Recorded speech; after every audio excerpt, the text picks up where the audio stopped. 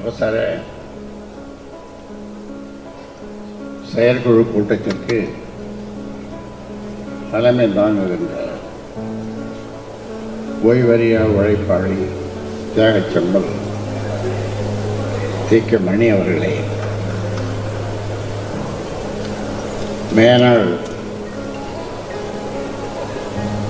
நடுவண் அரசு நல நலவாழ்வுத்துறை அமைச்சரும் இந்நாள் நாடாளுமன்ற மேலவை உறுப்பினரும் மாநில இளைஞர் சங்கத்தின் தலைவருமான அன்புமணி அவர்களே நமது பொதுச் செயலாளர் வடிவேல் ராவணன் அவர்களே பொருளாளர் திலகபாமன் அவர்களே வன்னியர் சங்கத்தினுடைய மாநில தலைவர் அருள்மொழி அவர்களே ஏனைய பல்வேறு நிலைகளில் இருக்கின்ற பொறுப்பாளர்களே உங்கள் அனைவருக்கும் மாநில செயற்குழு உறுப்பினர்கள் உங்கள் அனைவருக்கும் என்னுடைய வணக்கத்தை தெரிவித்துக் கொள்கின்றேன்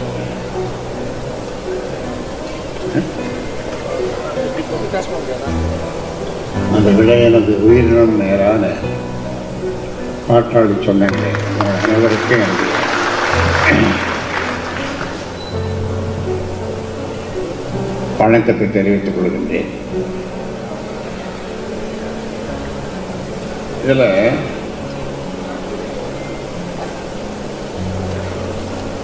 நான் எல்லோரும் விட்டோம்னா இப்போ உங்களை எல்லாரும் விட்டோம்னா வீராவேசமாக பேசுவீங்க. ஆனால் இப்பொழுது அது தேவையுமில்லை. ஏனென்றால் தமிழக முதல்வர் தம்பி ஸ்டாலின் அவர்கள். இதை ஒரே வாரத்திலேயே அவர்கள் கேட்கின்ற புள்ளி உரத்தை அவரால் கொடுக்க முடியும். நான் அவருக்கு சொல்லுகிறேன் ரெண்டு வாரம் கூட எடுத்திருந்தேன்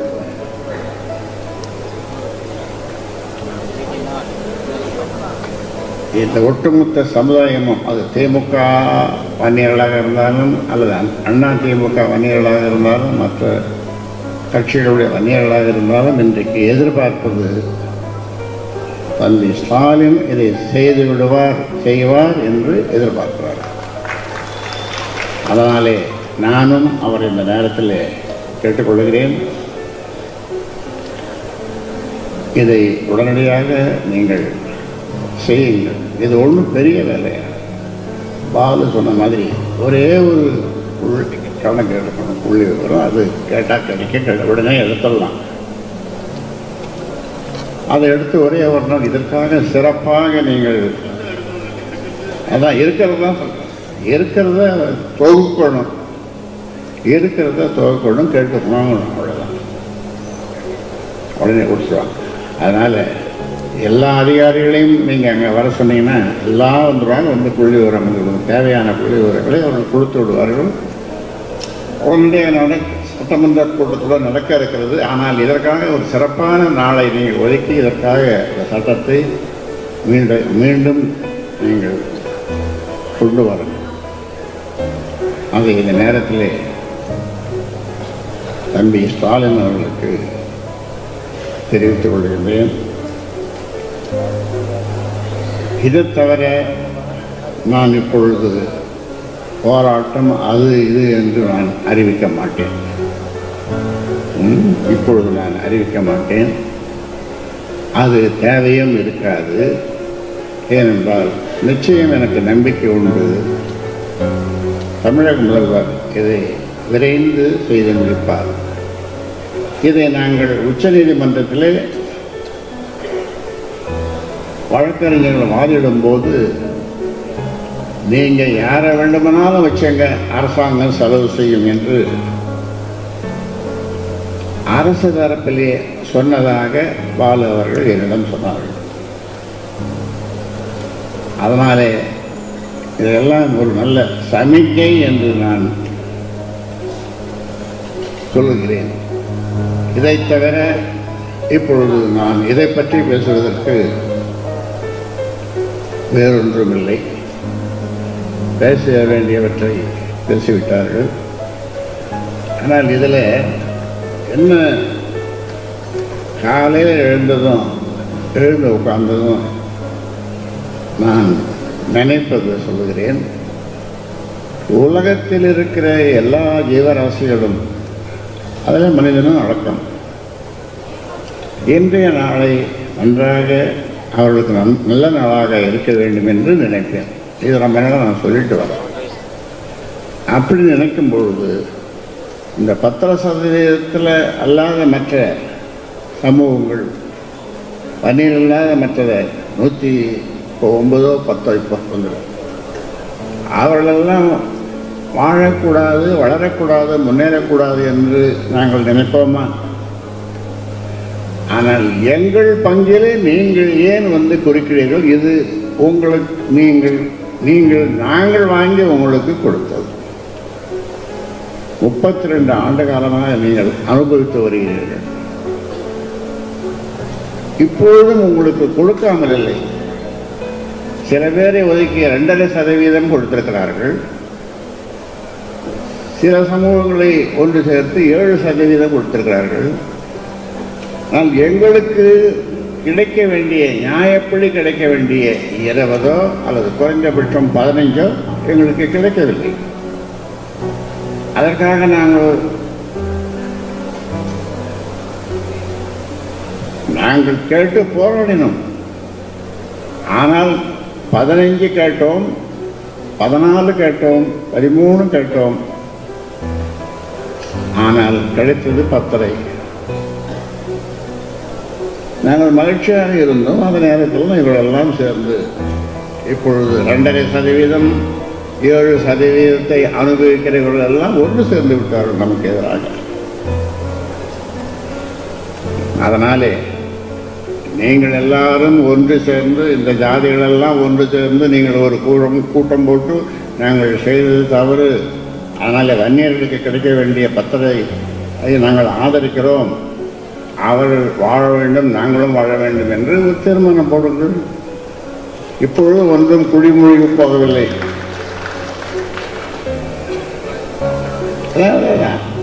யாருக்குமே பாதிப்பில்லை. பிற்படுத்தப்பட்டவர்களுக்கும் பாதிப்பில்லை தாழ்த்தப்பட்டவர்களுக்கும் பாதிப்பில்லை. அங்கே கையை வைக்கவே இல்லை. நாம் அவங்க அவங்க அவங்க இதில் போய் நாம் கையை வைக்கல. மாறாக தாழ்த்தப்பட்டவர்களுக்கு நாம் வாங்கி கொடுத்துருக்குறோம். சிறுபான்மையினருக்கு வாங்கி கொடுத்துருக்குறோம் அதனால்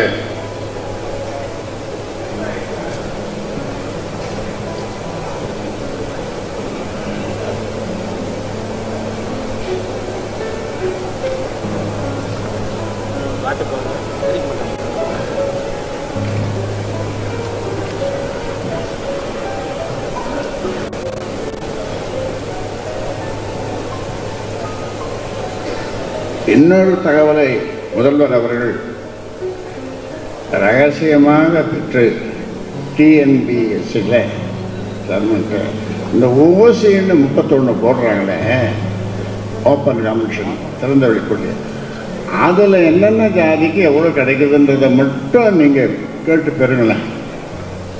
நான் முதலமைச்சருக்கு இந்த யோசனையை சொல்கிறேன் அதை நீங்கள் வெளியே கூட சொல்ல வேண்டாம். நீங்கள் வெளியே கூட சொல்ல வேணாம். நீங்களே கேட்டு பெறுங்க. நீங்களே தெரிஞ்சுங்க. தமிழக முதல்வருக்கு சொல்கிறேன் அதை உடனே நான் ப- புள்ளி உரத்தை எடுத்தோம். ரெண்டு நாளில் என் டேபிளுக்கு வரணும் புள்ளி உரம் அப்படின்னு நீங்கள் சொன்னீங்கன்னா முதல்வர் சொன்னார்னா உடனே எடுத்தாந்து வைப்பாங்க. ஓப்பன் காம்படிஷனில் ஒவ்வொரு ஜாதியும் இந்தந்த ஜாதிக்கு எவ்வளோ கிடைச்சிருக்குதுன்ட்டு. அதில் வன்னியர்களுக்கு எவ்வளோ கிடைச்சிருக்குதுன்னு தெரிஞ்சிடும். அதனால் அது ஒரு செய்தியாக சொல்கிறேன் உங்களுக்கு. அதான் எடுக்க போகிறோம்ல அதான் எடுக்க அதனால் இது தவிர நான் இப்பொழுது பேசுவதற்கு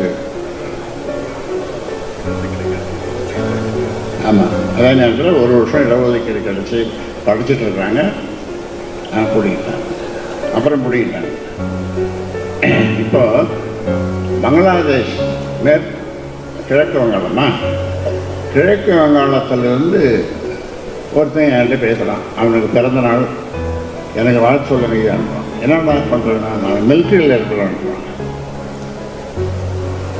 மிலிட்ரியில் ஒரு வருஷம் ட்ரைனிங் எடுத்துட்டு அவன் பிஇ மெக்கானிக்கல் இன்ஜினியர் ஏதோ படிச்சுட்டு அதுக்கு மேலே ஏதோ எம்பிஏ எல்லாம் படிச்சுட்டு சாதாரண சோல்ஜராக சேர்ந்துடுறான் மிலிட்ரியில் அந்த மாடலில் நான் இருக்கிறேன்னு சொன்னேன் நான் சொன்னேன் அது இடஒதுக்கீட்டில் தான் எனக்கு இந்த கிடைச்சதுன்னா மிலிட்ரியில் கூடமா இடஒதுக்கீடுன்னு கேட்டேன். ஆமாங்க நீங்கள் தான் என்ன வாங்கி கொடுத்தீங்க? ஓபிசி அவ்வளோ விவரமாக சொல்கிறான் நீங்கள் தானே ஓபிஜி வாங்கி கொடுத்தீங்க. அதனால தான் கிடைச்சது எனக்கு அப்படின்றான். நான் பெரிய பெரிய பதவிக்கு இந்த என் டிகிரியை வச்சுட்டு இப்போ கான்ஸ்டபிளாக போட்டிருக்காங்க. கான்ஸ்டபுளாக மிலிட்ரியில் கடைநிலை இதுதான் இந்திய இந்திய அளவில் தான் சொல்கிறேன் மிலிட்ரினா இந்திய அளவில் தானே. அது போட்டிருக்காங்க. நான் மேலே மேலே படிப்படியாக வந்துடுவேன். என் படிப்பை வச்சு வந்துடுவேன்னு சொல்லி அவன் அன்னைக்கு அவனுடைய பிறந்த நாளுக்கு எனக்கு சொல்லுவேன் அது ரொம்ப மகிழ்ச்சியாக இருந்தது. ஏதோ அதையாவது நினைக்கிறான் அவன் மிலிட்ரிக்கு போய் கூட இடஒதுக்கீடு ஓபிஜினால் தான் வந்ததுன்னு என்னையே நினைக்கிறான். என்ன நினைச்சு எனக்கு வாழ்த்து சொல்லுங்கன்னு எனக்கு அனுப்புகிறான்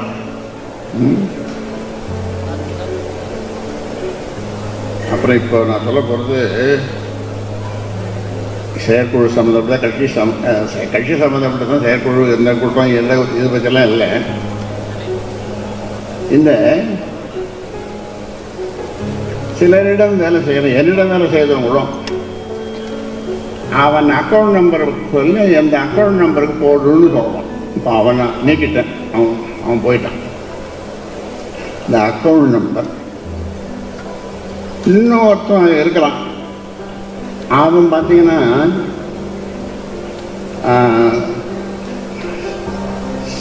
சில்வர் எல் வாழை இலை மாதிரியே இதில் செய்து சில்வரில் வெள்ளியா?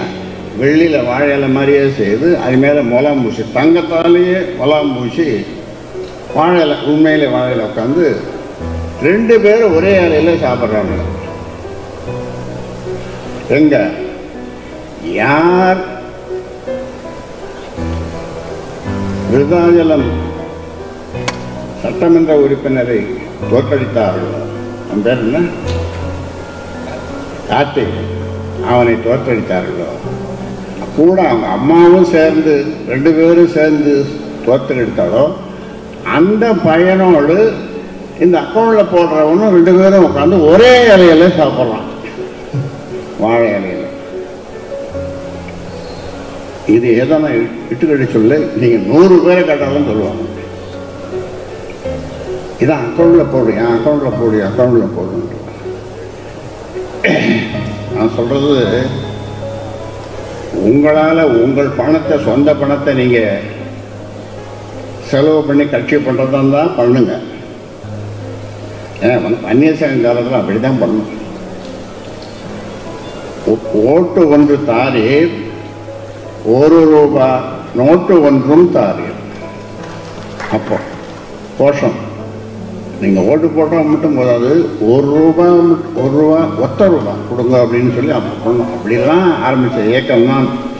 இப்பொழுது வந்து அக்கௌண்ட்டில் போட்டு அக்கௌண்ட்டில் போட்டுன்ட்டு. இது எப்படி இருக்குது? எனக்கு வர ஆத்திரம். அது இப்போலாம் குறைஞ்சி போச்சு. என்கிட்ட சொல்லுவோம் ஒருத்தன் சொன்னான் ஐயா உங்ககிட்ட மூணு இருக்குதுண்ணா என்னடா ஒன்று கோபம் நேரம் தவறாமை மூணாவது உழைப்புன்னா ஆமாம் இப்போ எனக்கு கோபமும் குறைஞ்சி போச்சு. உழைக்கவும் முடியல. ஆனால் முடியுது. ஆனால் எனக்கு நீங்கள்லாம் எண்பத்தி மூணுன்னு சொல்கிறீங்க ஆனால் எனக்கு எண்பத்தி மூணு இல்லை அறுபத்தி மூணு தான். இப்போ ஜூலை இருபத்தஞ்சி வந்ததுன்னா அறுபத்தி மூணு அறுபத்தி ரெண்டு ஆயிடும். இல்லையா? அதனால் நான் தெம்பாக தான் இருக்கிறேன். என் கூட இப்போ நீங்கள் நடக்க முடியாது. இப்போவும். ஏன்னா கொஞ்சம் இப்படி நான் இந்த கழுத்து தேஞ்சதுனால எலும்பு தேஞ்சதுனால இப்படி இப்படி தழுதே தவிர மற்றபடி அதெல்லாம் என்னால் முடியுது தான் அதனால் இந்த செயற்குழுன்னா என்ன அர்த்தம்? எங்க நீங்கள் எழுதி விட்டுருக்கிறது